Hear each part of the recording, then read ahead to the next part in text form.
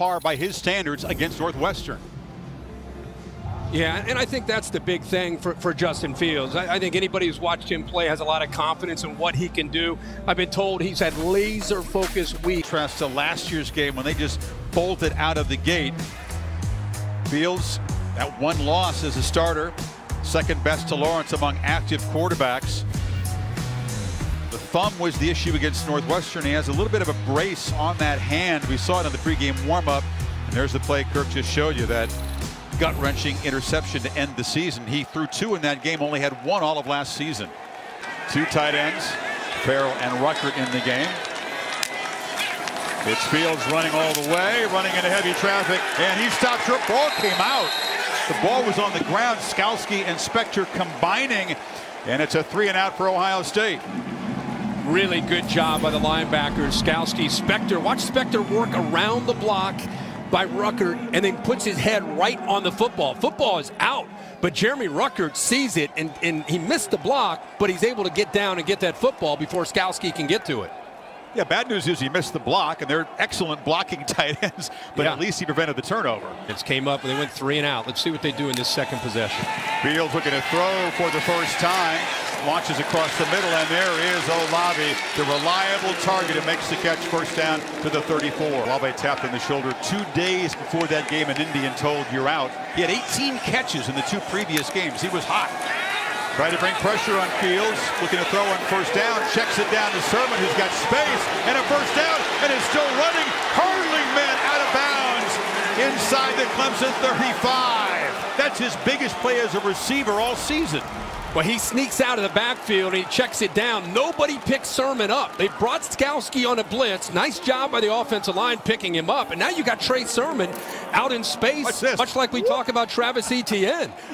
Nice. He did that. He did that in a Big Ten championship game. He got, he's got elevation. He tried it the first time and got tackled. The second time he just took it up.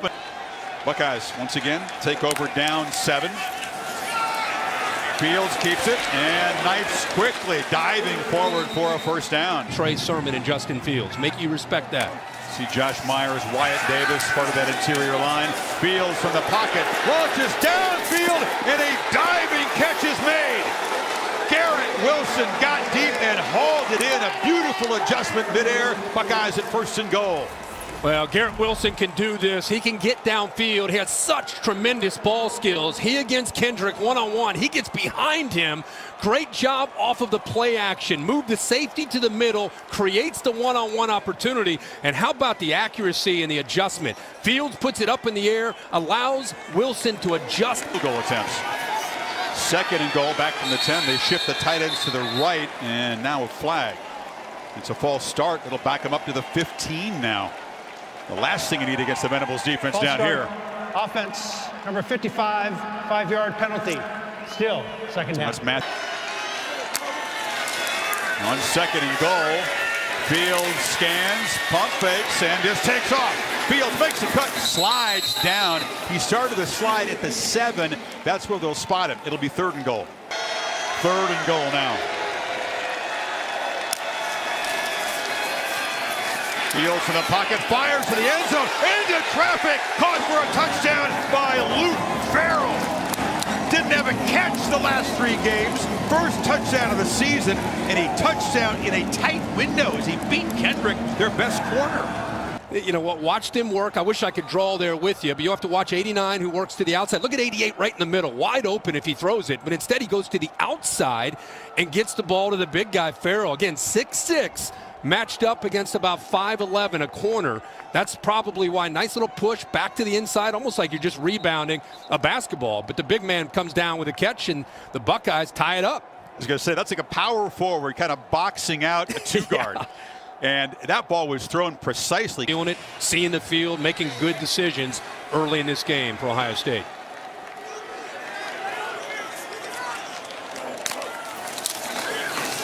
Looking to fire far side, long throw, and Olave darts for a quick first down. Year ago, inside, it's very painful for him, memory. There's a first down catch by Wilson. He was Sermon continues to run with that edge, that anger that he was known for early in his career at Oklahoma. Fields looking to launch downfield. Heaves it for Olave just over his hands. He had his man beat inside the five. And, and that time Fields just not quite enough air underneath that one. Fields some confusion at the snap. No flag down. He darts forward. Yeah, Brent Venables does not want to see Tyler Venables, his younger son, on Olave very across Ohio State. They need four. Tigers crowding the line, then they pull back. Fields has time. Over the middle. Catch made. First down. Jackson Smith and Jigba, the freshman, moves the sticks for the Buckeye. Man who missed the Northwestern game. Kind of a quiet season for a five-star. Fields fakes out the defense and rolls and has some yardage and still running. Knifing through defenders, lowers the shoulder. It's a first down inside the red zone. Farrell on a nice block you know, if you're going to cover everybody downfield, you better be careful because Fields is not just going to run out of bounds. Ruckert 88 does a nice job picking up a block. You also see that, again, the freshman Smith-Njigba, he picks up a block. And then there's the natural running ability of Justin Fields. I think he's really in, in, within himself trying to play not just well, but out-duel Trevor Lawrence tonight to show people how good he is. Got to be careful with that mindset, though, don't you?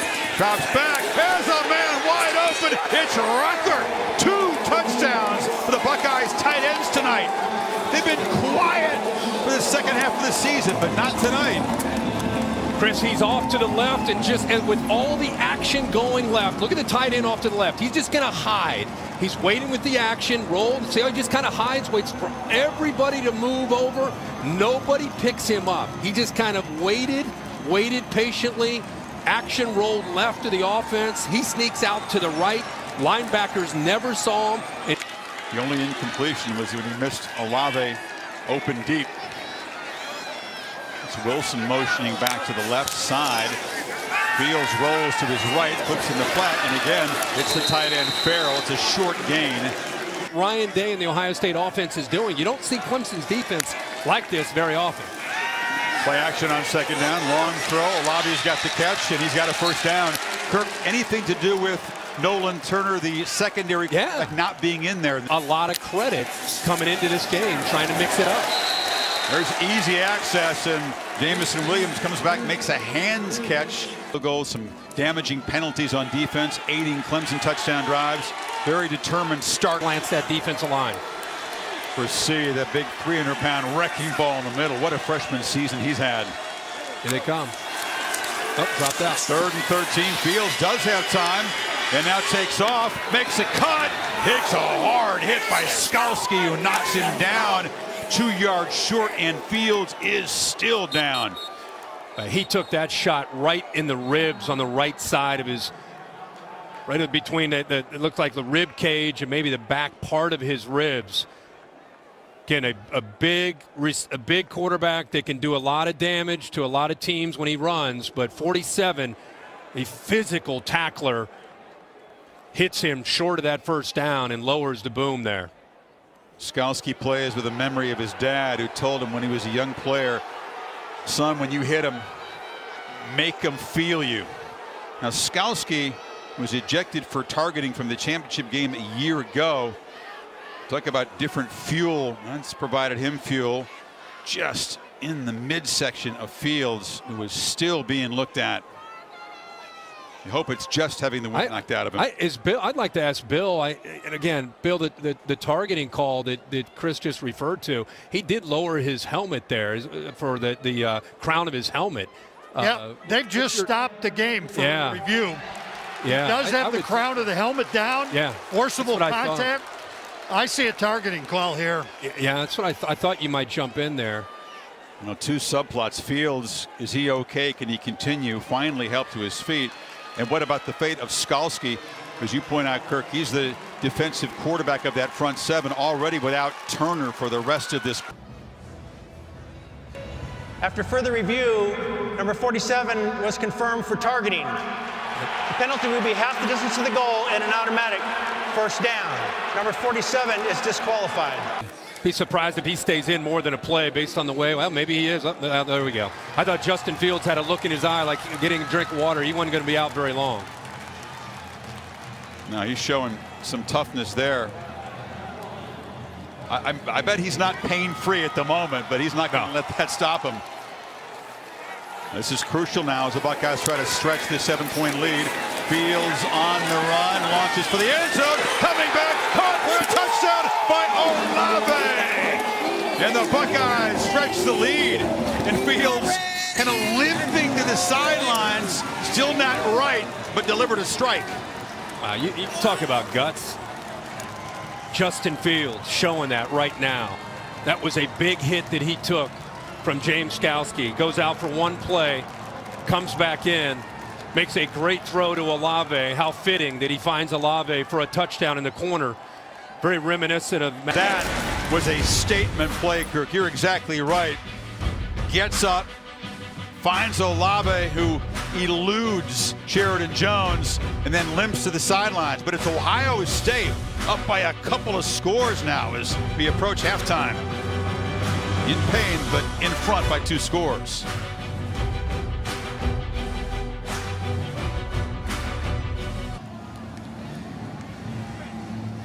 Justin Fields walking to the 10 in obvious pain. The shot delivered by Skalski. He's ejected for targeting Fields out for one play, comes right back in and fires a strike to his favorite target to go up by 14 two minutes before the break.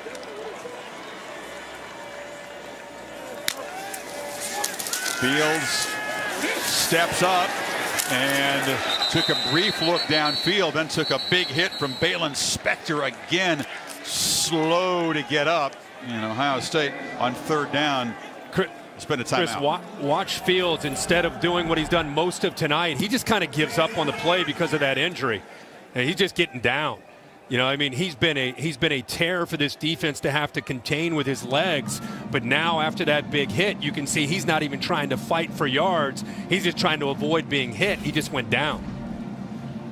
Down for Ohio State. Now Fields from the pocket again took a look downfield, just checks it down, and it's Sermon in heavy traffic, able to weave his way inside the Clemson 45. It was a semifinal game. Playing with tempo, Tigers barely set this time. Field steps up, dumps it down. Sermon again has another first down inside the 40. How to adjust for the second 30 minutes. Fields lofts it downfield way over Olave's head. Now just 27 seconds in the half. They still have the two timeouts, but not in field goal range at the moment. But you wonder if that's in Ryan Day's head.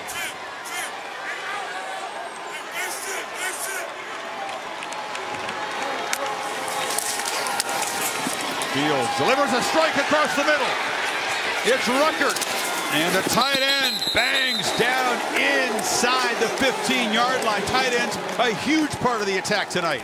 Boy, he gets this ball thrown right in front of Zanders. Watch the middle linebacker. Spector comes. It opens up, but almost. Zanders gets a hand on it, but instead it's the big fella. They came from 16 down, of course, last year. No panic on the Clemson sideline, but Ohio State trying to add to the lead here now. Well, he spread it around. 15 completions, seven different receivers. Makes it tough on the defense. From the pocket, a strike across the middle. Caught. Touchdown. Ruckert again. What a huge night for the tight ends and for Fields. Watch Farrell work, Chris, to the inside and take the defender right over the middle of the field with him. Now Ruckert kind of gives an outside look. I'm telling you, he's like a receiver, even though he's 6'5", 250. The top tight end that came out of high school football his senior year does a nice job. And because of Farrell took away the, the safety, Charleston, it opened it up. And every time Field steps and throws, he's feeling that pain on the right side of his, uh, his body. But he's also playing with a lot of determination, that fuel from the loss a year ago, the two interceptions out in Glendale, the doubters, the skeptics. He is really in a rhythm and a good flow. Nice balanced attack by Ohio State. Fields looking to throw, has plenty of time. Down the middle of the field, Olave's wide open, takes a hit, but the Buckeyes are threatening in the red zone again. They go trips into the boundary, continues to cause confusion. Watch him work from the outside to the middle. Nobody runs with him to the middle of the field. Not Kane Patterson. There wasn't a safety. Mike Jones didn't go with him. So trips into the boundary. Nobody finds Olave, their most gifted receiver. He's all alone, and Fields finds him. Making it tough on Brent Venables and his defense to get their own rhythm established. Third and eight. Pump fake. End zone throw, and that's a mistake. And an interception by Mike Jones. Fields forced that one into traffic. And it's the first takeaway for the Tiger defense. Much needed. Chris, I think Myles Murphy may have got his hand on this ball and affected that ball kind of was floating out of his hand. Watch 98, a little bit of a stunt up front. Right before he throws it, right there, I think on his follow through, I think he got his, see that ball kind of floating on him? I think that ball's either out of bounds or it's it's in the back line. Instead, it, the ball kind of flutters on him on that volley. Yeah, he did, in fact, get his hand on it. And then all of a sudden, the sideline, the guys in orange, has some life.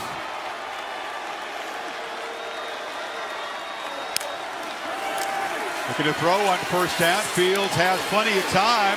Now retreats, tries to direct his receivers, and has to just throw it away. There was nobody open. Eventually, Murphy got there to pressure him. Tigers don't bring pressure on third one. They drop into coverage, and Fields again looking for someone. Checks it down to Sermon. Can he get there? Yes, it's a first down. Out across the 20. Well, that is a great He's job. still running. He's still running.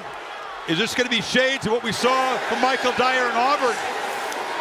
The signal is touchdown.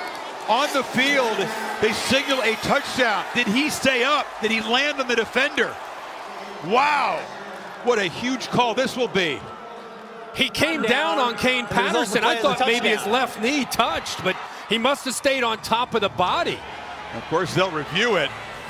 He wasn't running, and the sideline says, go, go. Yeah, there's Kane Previous Patterson comes in. See if his elbow touched. runner not being down. Oh, yeah. The elbow looks like right there. Oh, absolutely, he's down with the See elbow. the rest of it. I thought the left knee game. may have touched. Let, let, let's see. Uh, he's on Patterson right here. The left elbow, or the, the elbow's down. Yeah, Let's the elbow if puts him knees- down. Yeah. Yeah, then the knee touches as well. So take the touchdown off the board, and Goodrich After has further been knocked review, the runner is down back. at the 23-yard line. It will be first and 10. Please reset the game clock to 7:01, please. 7:01. Uh, Trey, he knew he was down. He said, I'll take the touchdown if you're going to give it to me, but I know I was down. Sermon back in on second and 10. Four-man rush. Fields has time. Launches downfield. It's Olave. He's got a touchdown. Ohio State. A deep strike, and the Buckeyes stretch the lead again. 56 yards. Wow. Great patience by Justin Fields. He went all the way from the right and came all the way back to his left to find the defense out of position. And then he shows you the arm strength downfield. Olave, this play took a while. I mean, it, the offensive line does a good job. Look how he gets behind Nolan Turner. I don't know if they thought he could make that throw, Chris. Watch Nolan Turner, the back end of this. Right at the 50 yard line, kind of working towards the middle. He takes that crossing route, opens it up for the post, and then Justin Fields shows you the arm strength and the accuracy to make that throw where he gets behind Kendrick and Turner. That midsection might be hurting from that shot from Skalski, but he just torqued that core around, heaved it downfield. We're able to kind of find that consistency by only playing six. They were fresh, but not fine-tuned at all coming in. Big pressure blitz, and they sack Fields on third down. That time, Venables brought the house, and it was Bryan Bresee there to knock down the quarterback, fourth down. Well, he's lined up over the right tackle and twists all the way around. And with all the watch him over the right tackle, he comes all the way around and comes free because of the pressure from the safety and backers occupied Trey Sermon. So he comes free, miscommunication up front, and the big fella Bresee comes up with a big sack on third down. Coaching them, they still have a lot of talent led by the two interior players. Got a first round pick at quarterback, and Fields is back at it, flipping in the far side there. I don't think they go into any kind of slowdown. I think it's the same kind of tempo. They throw again. Catch by Smith-Njigba. Not. Of course, you mentioned Justin Fields trying to get on the exercise bike. Really, he hasn't sat down much since taking that hit. He's trying to stay warm as much as possible. The one time that he stopped was to check in with his offensive line. He hit everyone's hand and said 15 more minutes. Give it all that you've got. But he's staying up, trying to stay warm, has a lot of padding on that right hip and trying to really gut out this last quarter. He's been gutting it out. And he's not had a plate of beignets at halftime, Desmond Howard style. That is the padding you see under that jersey that was not there at the beginning of the game. So rewrite the ending means close. They got 14 minutes to protect this lead. Looking to add to it. Fields down the field. Caught for a touchdown. Jameson Williams make it five touchdowns for Fields tonight. And the Buckeyes can smell it a 45-yard strike. And Fields is delivering a performance that's going to live forever in Ohio State history. This is truly special tonight. See Nolan Turner, both safeties. I talked about Venables needing to roll the dice a bit and being aggressive. It means leaving those corners on islands. This time it's Sheridan Jones against the fastest receiver on the Ohio State roster, Jameson Williams. Again, I, I, talked about how Brent Venables down late like this is going to have to leave his corners on island, safeties up, early down. You're expecting run, and instead Ryan Day shows you how determined his team is and how much confidence he has in Justin Fields. Jameson Williams matched up one-on-one with Sheridan Jones. No safeties back to help, and they hit another big one. He's been an 80% passer. Pressure that time and misfires Luke Farrell. Ohio State facing a third and four. Fields from the pocket against the four-man rush, lofts it into traffic, and going up trying to make a catch was Sermon. Victory formation for the Buckeyes. Pure muscle up front. They dominated the game in the trenches. The second quarter was decisive. The score was even in the first, third, and fourth, but that 21 zip edge for Ohio State when their defense clamped down on Lawrence. And they scored three touchdowns. That is the difference tonight. First time they beat the Tigers in the five meetings.